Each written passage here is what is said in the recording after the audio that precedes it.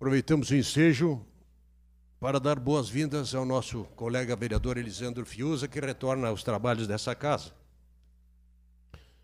Solicito ao primeiro secretário que faça a leitura do ofício 25/2019 do vereador Neri Pereira, ou melhor, Neri Andrade Pereira Júnior, comunicando sua renúncia ao cargo de vereador a contar de 31 de janeiro de 2019, tendo em vista a convocação para assumir o cargo de deputado estadual.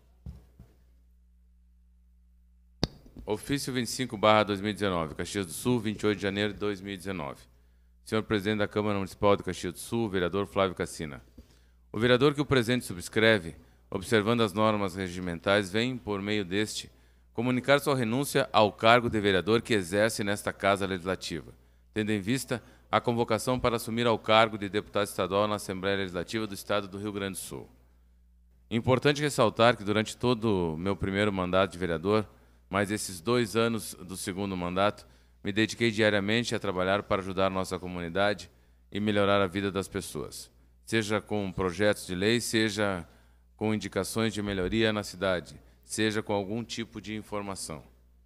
De qualquer forma, coloquei meu nome à disposição para concorrer ao cargo de deputado estadual na última eleição e fiquei extremamente grato pela expressiva votação que obtive, tanto da comunidade caxiense quanto todo o Estado, conquistando 27.808 votos.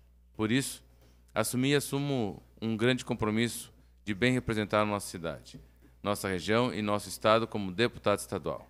E assim, como dito acima, cumprindo as formalidades legais, comunico a minha renúncia ao cargo de vereador para assumir o cargo de deputado estadual. Renúncia esta a contar a partir de 31 de 1 de 2019, data da posse na Assembleia Legislativa do Estado do Rio Grande do Sul. Neri Andrade Pereira Júnior, vereador do Solidariedade. Obrigado. Em razão